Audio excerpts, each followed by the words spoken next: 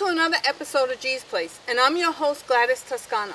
And today's guest is David Whitmon, and he is the owner of this wonderful Velomobile. I ran into David outside the Oak Bluffs post office and I saw this vehicle thing. I thought it was the coolest thing. So I started asking him questions about it and asked if he might want to do an interview for my show and he agreed. So I thank you for joining me, David. My pleasure. My pleasure. So tell us, um, tell us all about the Velomobile. Velomobile is a, vehicle, it's a French word meaning bicycle car. It was Cool. invented by a Frenchman just after World War One, and they look like antique cars. Mm-hmm. Uh, it's a human-powered vehicle. It's uh, there's no motor in this thing. It's uh, been this is a modern version that's been designed in a wind tunnel to allow you to go down the road much faster than with a conventional bicycle. To ride a conventional bicycle, even a high-end conventional bicycle, is like riding with a parachute behind you uh, compared to this thing. Um, it has headlights, tail lights, brake lights, turn signals, horn. It has suspension all the way around. Wow. I do all my grocery shopping with it. It has plenty of floor space. Uh, November 20th will make um, four years that I've had it, Oh, excellent. and I'm approaching 27,000 miles so far, oh, that's amazing. And it's- all by your legs. all by my legs. Well, I don't know if I can do that. okay, so let me ask you a question. Yes. Is this your main means of transportation on the vineyard? Yes, Oh, yes cool, it is. I uh, gave up my, my car, needed an engine rebuild about two and a half years ago. I didn't want to put the money into it. I couldn't rationalize putting the money into it. Mm-hmm. And I finally sold it a couple weeks ago. I $800 for it. You know, so it's uh, Well, that's better than nothing. that's better than nothing. yeah. And money in is better than money out. Yes, indeed. and, um, but what not buying gasoline on Martha's Vineyard is almost as good as winning the lottery. That's a blessing. It is, and I, I can get anywhere. You know, I can. Uh, I uh, earlier today I came down Barnes Road. I hit 43 miles an hour. Wow. You know, so it's it's I was just going to ask you, how fast does it go? it can go as fast. It depends on the hills, and uh, I've. Uh, yesterday I came from Edgartown on the uh, on the beach road, and I was running between 30 to 35. you know. Wow, amazing. and it's amazing. it's just it, it's all the aerodynamics. It just float. The air flows around you smoothly instead of you know riding a bicycle like this or like this. It's like a Right. brick wall. so tell me, David, where do you park this on the vineyard?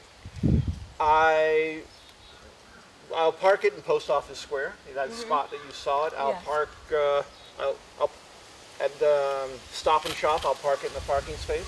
Oh, cool. Um, at Cronig's, uh, they have a bike rack. If, uh, if the bike rack is completely full of uh, shopping carts, I'll park it in a parking space. And uh, Oh, cool. uh, and I, you know, I'm, I'm worried about cars pulling in and crunching it, but I leave the flasher going. I leave the tail light on.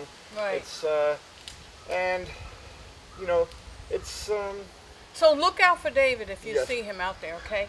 You because you think they might hit it because it's low and they may not see it. Well, I. I think people drive very erratically and uh, very fast at times. now he said that. I said that. Okay. He said that. All right. Currently, how many velomobiles are there on the vineyard? There's four on the vineyard. Oh, cool. Uh, since I I got this one, uh, one fellow followed me home one night. Eventually got one uh, from Oh, wow. Belgium.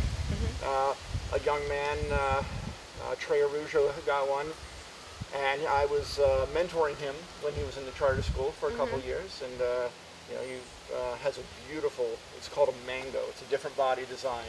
Oh, okay, And, uh, cool. And then there's another fellow who uh, actually competes, uh, and he was uh, in what are called brevets, and they're uh, certain length rides that they have so much time to finish. It's not, it's a it's a race against the clock, and uh, and he recently did one uh, a couple years ago, I guess, um, from Paris, France to Brest, France, and back, 1,200 kilometers, and he had 90 hours to finish that. And he said the people in the velomobiles were just going, going right by him. And he got himself one. It looks the same body shape, but it's white. And, Wow. And, and his is carbon fiber, whereas this is fiberglass, which makes it lighter. Yes, I saw the way you picked it up and moved it. If you notice, we changed the direction we were standing in. Well, let me ask you a question. You mentioned Belgium, so is that where this came from? No, this was uh, this was designed in Holland. Uh, the company that had been importing them into North America is Blue Velo in Toronto. When I first approached them in 2000, summer of 2008, uh, um, they told me that if I were to order one from Holland through them, it would be 2014 before I'd see it because there was such a backlog. Wow. And then he, then I would, I would gulp, and then I would, uh, he said, but, but as of January 2009, he would have the agreement to start manu- you know, building these in North America. He's limited to Canada and the United States. So at that time, I got on his list, and I, I wired him uh, money uh, December 2008. It arrived uh, November 20th, 2000. That's not bad. Uh, it was 11 months. But this is number nine. This is the ninth one. Uh, uh, it's called a Quest. This model is a Quest. The company's name is Blue Velo, so its serial number is QB009. And Cool. I just spoke with a fellow who has QB080, so he's they're He's coming really out. he's really building them. And these these are um, basically hand built. You know, I mean, there's a lot of uh, labor intensive, you know, uh, put put into this. And, I think it's cool. It looks like a um, a bullet. it, well, it's it's been referred to as bullet bikes. Yeah, it looks and, like a uh, bullet. The um, was it uh, Popular Science did an article on uh, it was called Power from the People about Cool. human powered, and this Mhm. was September of 2009. You can see it online. You know, you can Google it and find it. They had a whole section on these, and they did call them bullet bikes. Yeah, because section. it's a, it looks like a cool bullet. and it's it's just you use a lot less energy to go faster than someone in a road bike. And it's um, uh, two weeks ago uh, the Cycle Martha's Vineyard I was wondering what that number. started it fin- started and finished at the PA Club. Uh, went around uh, um, East Chop, down, uh, come back around all the way down County, uh, the Vineyard Haven Road, up the State Road, State Road, boom, boom, boom, all the way up to uh, the cliffs. And within a half a mile, I dropped everybody Cool. and I was caught by six to eight cyclists at the circle at the cliffs, 29 miles down the road. There was a big crowd of people because they were having the road rally, road race to save the uh, raise money for the lighthouse, and the cops were telling me to slow down, and these guys went right by me. Then I got on Moshup Trail, and I blasted by them at 40 miles an hour. Excellent. get 40 miles an hour. Excellent. I like it. And it's uh, And no gas. and no gas. No That's gas. cool. And it's uh, and I, I have floor space. I carry food. Mm-hmm. I carry the um, on CamelBak with the hose, so I can just drink as I'm going. Yeah, just like a car. It's uh, my longest one-day ride was uh, I caught the ferry, the six o'clock ferry, and went and rode a 142 mile loop Mm-hmm. and back to Woods Hole in eight and a half hours riding time. Oh my goodness, David, I can't imagine. and that. it was this. Uh, but it's it's it's like a Barcalounger. It's very comfortable. I would think so. comfortable. It's like I say, there's suspension. Um, within the first six months of having this, Mm-hmm. I was stopped by island police six times, twice in Vineyard Haven, and uh, the first time in Vineyard in Oak Bluffs, twice in Vineyard Haven. Uh, once in uh, West Tisbury, uh, Chilmark, Edgartown, but in Aquinnah, I- they just wave when I go by. Cool. So you find it actually comfortable? oh, it's very comfortable. Yeah, because I'm riding a bike for what you say eight hours. I don't think that'd be too Well, and and I have uh, I am I'm years old. I was diagnosed with a degenerative joint disorder. I have arthritis everywhere. I have uh, uh, bulge discs and discs that are disintegrating, a slip disc in the neck. This supports my body. You know, I was finding that the conventional bicycles were beating me up. Yes. They really were beating me up. And I mean, when I was 34, they wanted to cut my knees completely off and put new ones in. Complete knee replacement. and this helped you? No, I actually, what helped me was I got a mountain bike. Mm -hmm. And I, my first ride, I got the mountain bike, I went rode, and for three days I was so hot about icy my knees. And then I, once the pain subsided, I went out and did it again. And then I went out and did it again. And uh, I was doing physical therapy at Spaulding Rehab in Boston three days a week for six months, meaning I caught the boat, I caught the bus, went to physical therapy. And they were the docs who were saying they wanted to replace my knees, but the physical therapist said, you got to think of your knees as two pencils held end to end. You got to make them strong. I still got the original knees they, you know, you don't want to walk up and down the stairs with me because they make a lot of noise. But, but uh, this riding a bicycle is very low impact on, on your on your knees. That's interesting you said that because those porch steps right there, Yeah. I tripped up last summer, got a meniscus sprain. Yeah, And yeah. it, it stopped me from walking. I was a power walker, um, light runner, but I loved it. And I can't do any of it now. Hence the, the weight gain Yeah. and the pain. yeah, yeah, That yeah. knee, boy, you can hear it holler sometimes. It yeah. hurts so much. And it, it's uh, So you recommend riding a bike? I recommend riding a bike. You know, with uh, uh, with and before I got the bike, I was walking with a cane, and I was going downstairs on my butt. You know, one step at a time. Yeah, 'cause the steps hurt. Well, because my, my legs were at the point where I, they would collapse if I was They going down couldn't hold your weight Yeah. going down the and uh, and in fact, I started a the mountain bike club that's been here on the island. It's Mm-hmm. been going for 25 years. The Vineyard Off-Road Bicycle Association. It's still going with, even without me. cool. That and, is uh, so cool. And but um, the mountain biking, I loved the mountain biking, but it was hurting. me. It was, you know, I'd have a great ride on Sunday, and I'd be hurting so Wednesday. for Wednesday. Exactly. So uh, I know it. I know the pain. and when I was thinking about getting a recumbent bike, and then, then I was talking about getting a, uh, uh, like a little fairing in the front to, to keep the cold air off of me. And then somebody sent me a video of one of these, And that did it. and it was about five years later that I figured out how, you know, it's like, how am I going to pay for this thing? Because it's not cheap. And, Come, uh, and uh, so, um, yeah, that's how it happened. I, uh, and it led me to this. But uh, you may have seen I have a bicycle built for three.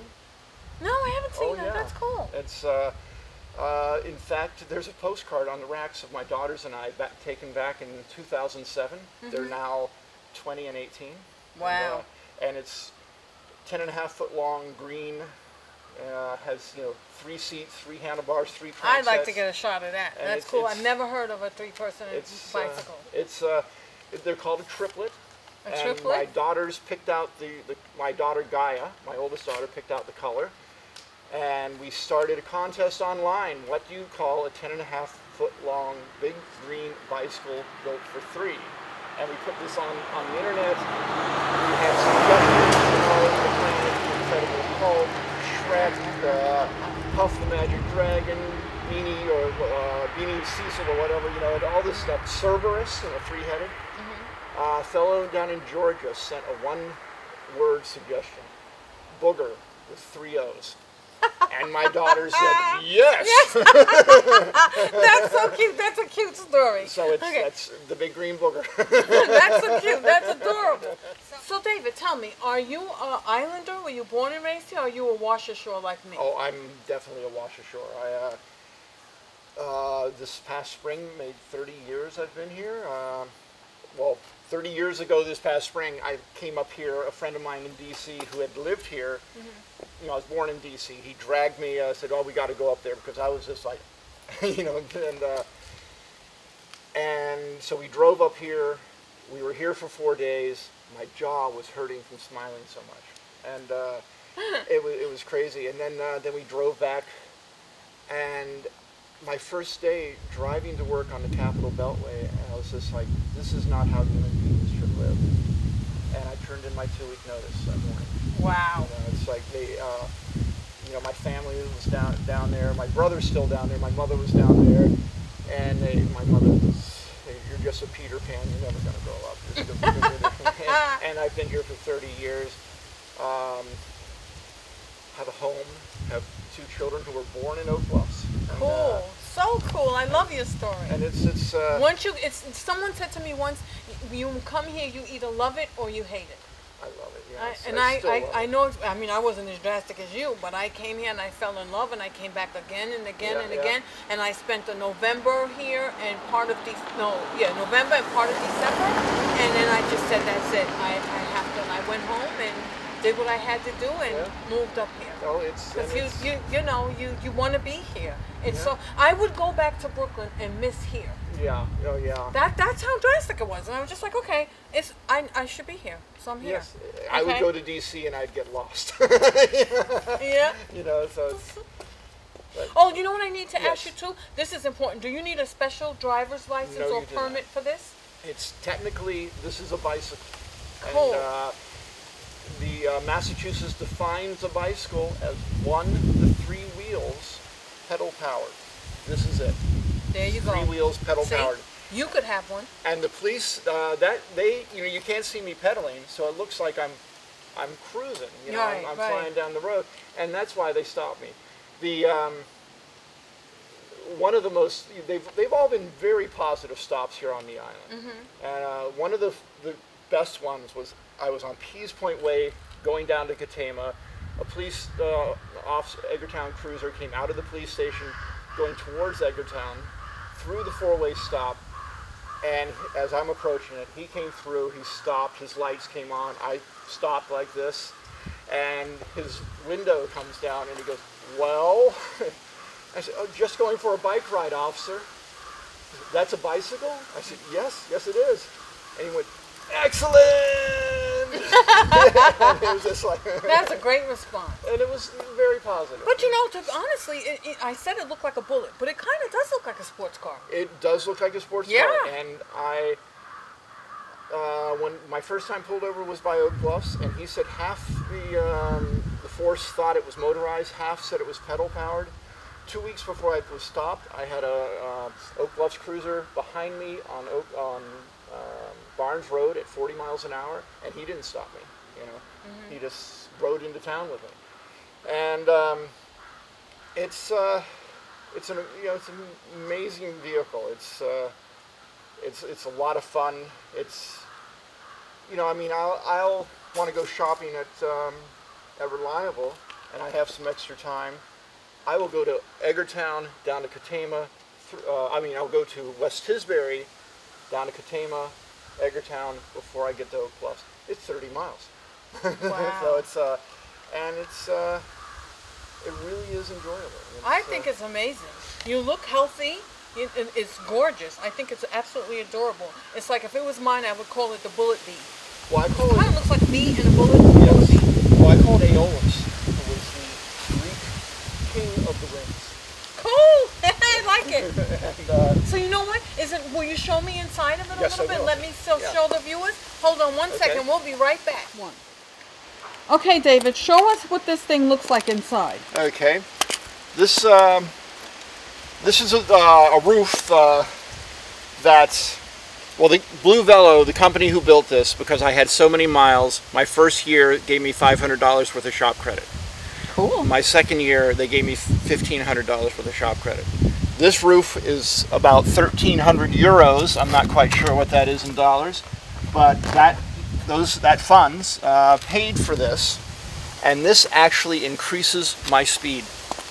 You know, just having this this, and it's uh, much much better protection during the uh, winter. Mm-hmm. It you know keeps me warm. Um, So you even ride this in the winter, David? I ride it year round. oh my goodness. I, I, I um, posted uh, two pictures on uh, Facebook recently. One, you know, the uh, the back entrance into Reliable Market mm-hmm. uh, on Kennebec. Well, there's a bike rack right there at the door. I always back this right into the bike rack. I had put two pictures. One picture was from last winter. It was eight degrees, and there was a shopping cart full of groceries that all went in here.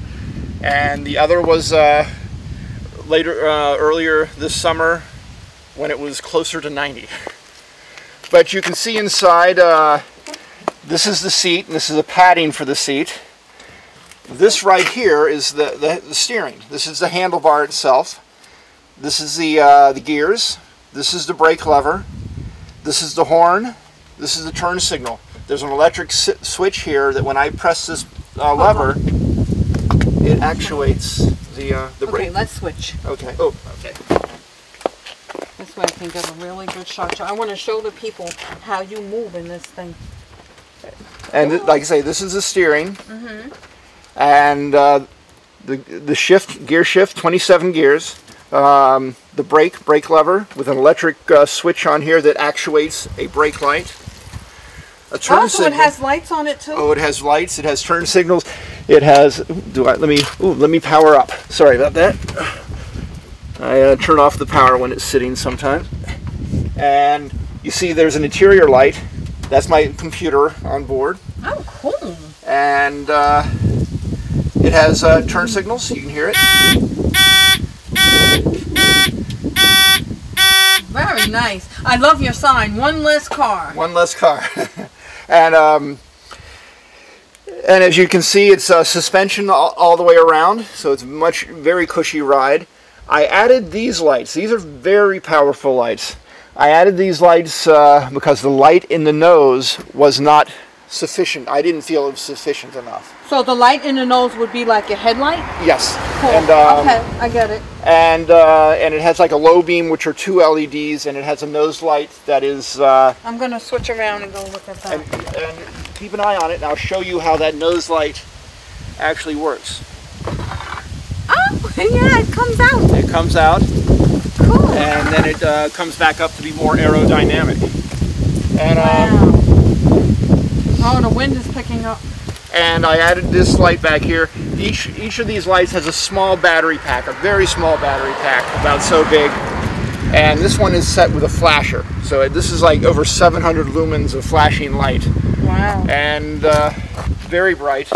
This has a running light. It has a brake light. These are the turn signals. Maybe you, you want me to hit the signals? Yeah. Okay. On the shaded side, you'll probably see it better. Oh, yes. You know, it's not a whole lot, but it, uh, No, but it's enough. it it's enough. It works. And uh, and the bright yellow, I really wanted red, but I figured the bright yellow would be Yeah. much more visible. It would be safer. Yeah. because uh, you can see this thing a half a mile away without the lights. Oh, yes, you because can. of the yellow, and um, it's uh, it's got to be the nicest thing I've ever done for myself. Well, I think it's amazing. How about you show us you riding it so I can get Okay. a shot of that, Okay. okay? Okay. And I want to see how you get in it. Okay. This is my uh, my CamelBak. Uh, I keep it full of fluid. Uh, I, I have my wallet and ID and everything, and it goes right in here against the fender well. And if I need to drink, I drink while I'm riding. I just have the hose right here. I take it and drink. That is so sweet. It's and uh, it's it's an amazing machine. Okay, I'll um, I'm gonna rotate it and point it up the hill, or Look at how you just pick it up. it's it's not very heavy. Well, it's 79 pounds empty, but this has um, and but this is fiberglass. The carbon fiber versions are closer to you know 61 pounds, something like that.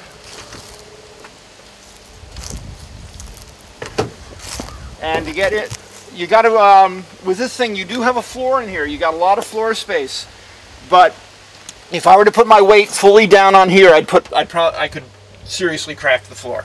You know, the floor is, it's, it's right there. Right, so you don't step on it. That's what I you're don't step on that. What I do is I reach in here and step on this. This is very reinforced. The steering linkage is inside there. Oh, I see. There's I a, you know, it. it's completely enclosed, top and bottom, uh, for this, like I say, the steering linkage. Uh, but it's um, it, and it takes. You have to learn it. This is part of learning how to ride one of these things. Getting Mm-hmm. in, I slip a leg over and I go like that, and then I bring my other foot over, and I just slip it right on like a shoe Cool. and and I have uh, pedals, and you can hear me click click into the pedals, and that way you don't have to worry about your foot slipping off. Oh, so it has those things that hold you. Yeah, Oh, and okay. uh, it- and you know you would take a lot more energy to hold your feet on the pedals, pedaling out like that. Mm-hmm. In this way, with the uh, with the clips, your feet aren't going to come out. Right. And this guy comes over. Now, do you ever ride it without that hood? I, I do, but uh, I've had this hood for uh, just over a year. The the thing is that uh, it is um, it's just so cool. You know, it's just it, it, it adds so much to the speed of the vehicle. Um, it's without it. Well, I can show you. Uh, without it, I would get a lot more turbulence right, Right. in here, and it would still be faster than a conventional bicycle. Uh, but with this thing, like this, you know, if I'm going uphill and I'm going at a slower pace, I open this up. When I go downhill, I go like this, zoom, and um, wow. it's it is uh, very very very fast and Quite cool. And I'll start up and I'll go up the hill and turn around and come back Okay.